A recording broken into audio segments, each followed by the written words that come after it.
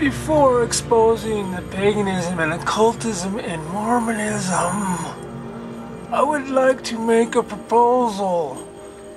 I propose that since there is more occultism and paganism mixed up in the origins of Christmas, Easter, and Halloween, intellectual honesty demands that we discontinue obeying, observing those holidays.